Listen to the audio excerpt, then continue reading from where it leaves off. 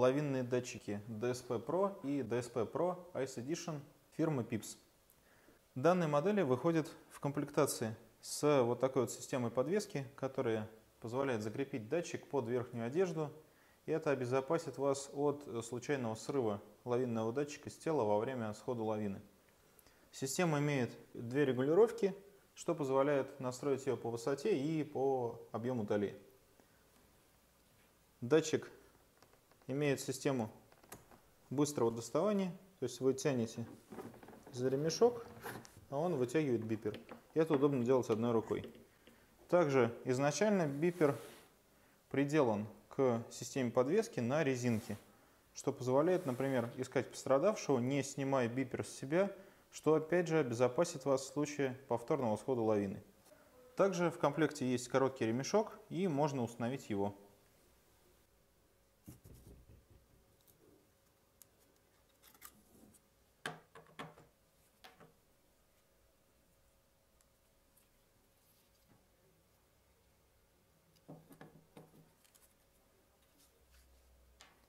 Лавинный датчик имеет очень понятный интерфейс и очень простую систему управления.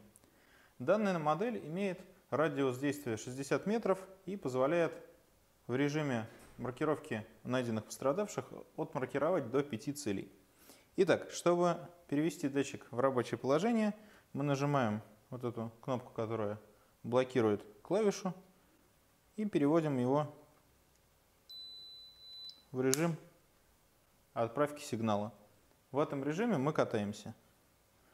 Для того, чтобы перевести в режим поиска, просто сдвигаем клавишу и уже можно искать пострадавших. Поскольку рядом находится еще один лавинный датчик, мы слышим сигнал.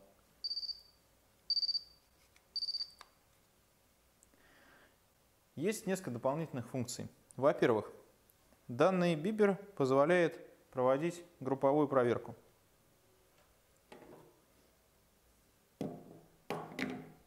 Чтобы убедиться, что мы можем адекватно искать друг друга в случае схода лавины, мы можем заранее проверить работоспособность датчиков друг друга. Для этого в режиме отправки данных мы включаем бипер и проверяем, имеет ли он связь с другим. Он показывает надпись ОК и расстояние до бипера, которое должно быть менее метра. Когда мы отжимаем клавишу, он переходит обратно в режим отправки данных.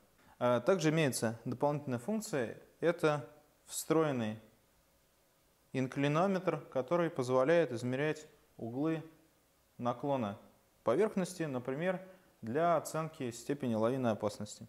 Для этого в режиме отправки данных мы нажимаем кнопку сканирования и дальше он переходит в режим измерения углов. Положив датчик на лыжи или лыжные палки, которые лежат вдоль склона, можно измерить крутизну склона. Единственный момент, его необходимо не утерять. После того, как мы отпустим клавишу, он автоматически перейдет обратно в режим отправки данных. Данный датчик также совместим с лавинным щупом фирмы Pips iProbe, который позволяет производить более детальный поиск пострадавшего.